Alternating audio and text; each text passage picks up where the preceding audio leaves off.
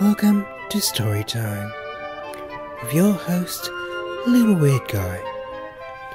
Today's story is by Benny, also known as DarkMessiah 24 on YouTube.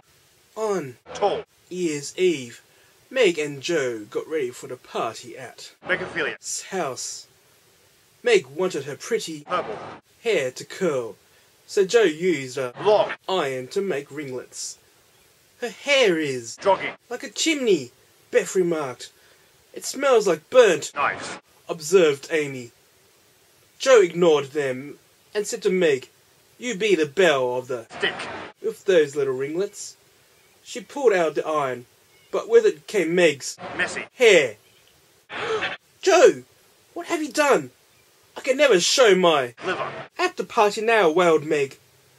Oh, I always make a. Ow. ears and a silk purse, cried Joe, with Toys. streaming down her face. Amy and Beth helped Meg to hide the mess with ribbons and. Rocks.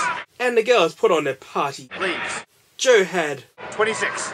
hairpins sticking out of her head, and Meg's shoes were 69. size too small. But dear me, I would rather die than be. Hard.